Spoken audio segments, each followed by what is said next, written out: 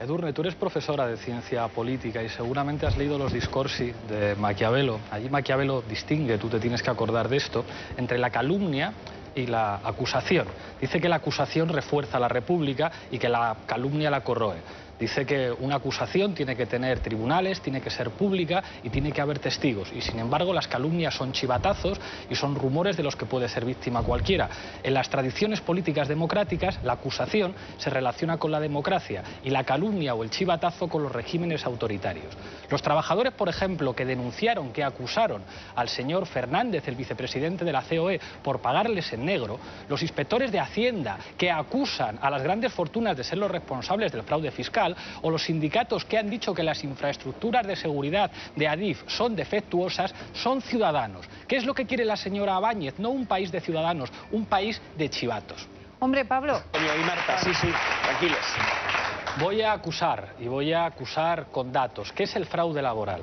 Fraude laboral es que en, el último trimestre de 2012 se perdieran cada semana 2.600.000 horas extras no pagadas. Por primera vez en este país han sido más las horas extras sin pagar que las pagadas. Consecuencia que se perdieran 65.000 puestos de trabajo. ¿Qué es fraude laboral? Contratar a personas por una categoría inferior a, a la que le corresponde para pagarles menos. ¿Qué es fraude laboral también? Que la jornada laboral en España sea la más larga de Europa, lo que ha destruido medio millón de puestos de trabajo pero eso no lo persigue el gobierno. ¿Qué es fraude laboral? El expediente que ha abierto la Inspección del Trabajo al Partido Popular por el contrato fraudulento a Bárcenas. Eso es fraude laboral y eso no lo persigue este gobierno.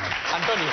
Yo os voy a conceder una cosa. Este gobierno hay cosas que las hace bien ha conseguido que en una situación de emergencia social los medios de comunicación discutan del peñón de Gibraltar y del buzón de Báñez, que es una cosa impresionante, es digna de elogio.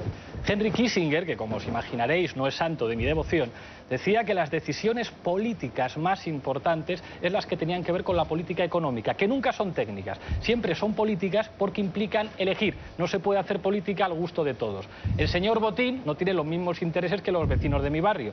Yo vivo en Vallecas. Con esta decisión de Báñez, ¿qué hace el gobierno? Tomar partido por el señor Botín y los de su clase. Y lo puedo demostrar con datos. Si el gobierno lo que quiere es recaudar, podría perseguir con inspectores de Hacienda. Mi padre es inspector de trabajo y les aseguro que tanto los inspectores de trabajo como los inspectores de Hacienda tienen las manos atadas para perseguir el fraude laboral y el fraude fiscal, podría perseguir el fraude fiscal. 80.000 millones de euros, el 70% procedente de las grandes empresas. Pero persigue a los pobres. Según datos del propio gobierno, 0,15%, el 0,15% de los parados defraudarían. A por esos va. Va por las grandes empresas, va por Zara que tributa en Irlanda para no pagar aquí, va por Microsoft que el software que vende en España lo tributa en Irlanda para no pagar aquí, va por señor Botín, va por los grandes pues empresarios de este país. no, esos son los que le financian. Este gobierno que justifica sus sueldazos, los sobresueldos y estar en manos de las constructoras es el que va a perseguir a los más desgraciados. Eso es hacer una política de clase. Nada más que eso. Fraude. No lo entiendo. Pues me parece una barbaridad. Es como perseguir a alguien que está vendiendo CDs, aunque sea ilegal. Un pobre desgraciado que para sobrevivir tiene que vender películas copiadas merece mi solidaridad. Igual que un pobre desgraciado que cobra 600 euros de, paro y es contratado en negro por 200 euros más para llenar su nevera, merece mi solidaridad. Y sin embargo, el sinvergüenza que está cobrando un sueldo de 50.000, de 100.000, de 150.000 euros al año y además recibe sobresueldos, merece todo mi desprecio. ¿Sabes lo que tendría que hacer la policía en lugar de dar palizas a la gente? Investigar a Díaz Ferrán, que ha vivido del erario... a Díaz Ferrán, no, perdón, Arturo Fernández, que ha vivido del erario público y que presumió en público de tener deudas con la seguridad social. Eso tenía que hacer la policía y no perseguir a la pobre gente que no, es lo se que está persiguiendo a la pobre gente, se está persiguiendo